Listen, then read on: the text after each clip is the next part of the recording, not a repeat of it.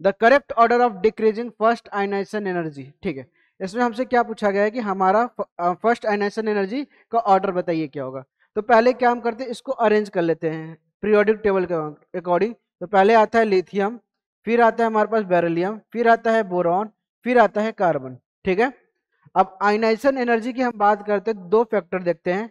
एक फैक्टर तो ये होता है कि लेफ़्ट टू राइट जाने पे हमारी आयनाइजेशन एनर्जी क्या होती है, इंक्रीज करती है। ठीक है सेकेंड केस ये होता है कि स्टेबल कॉन्फ़िगरेशन अगर हमें दिख रहा है स्टेबल कॉन्फ़िगरेशन हमें दिख रहा है तो उसकी आइनाइसन एनर्जी क्या होती है?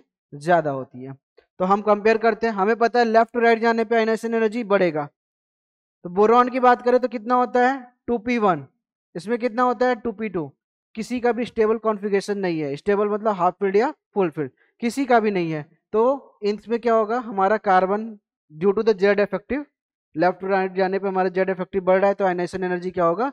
ऑब्वियस सी बात है बोरान से ज़्यादा लगेगा। ठीक है? लेकिन बेरलियम और बोरान की बात करें तो इसका क्या होता है? टू एस टू होता है। टू एस टू होता है, जिसकी वजह से ये हाफ़ फुल फ़ील्ड हो गया। और फुल फ़ील्ड हो गया तो ये क्या करेगा? बोरॉन पे डोमिनेट कर जाएगा। और लिथियम बेरलियम की बात करेंगे तो ऑब्वियस बात है लिथियम के बाद आ रहा है तो जेड इफ़ेक्टिव ज़्यादा है तो ये क्या करेगा? आइनाइसन एनर्जी ज़्यादा शो करेगा। मतलब ऑर्डर क्या निकल के आएगा हमारा? लेथियम फिर बोरॉन, फिर बेरलियम फिर कार्बन ये हमारा ऑर्डर निकल के आएगा। तो जब हमारा ये ऑर्डर निकल रहा है तो इसके अकॉर्डिंग हम मैच कराते हैं कार्बन बेरलियम बोरॉन लिथियम तो हमारा कौन सा मैच कर गया? आंसर हमारा बी मैच कर गया।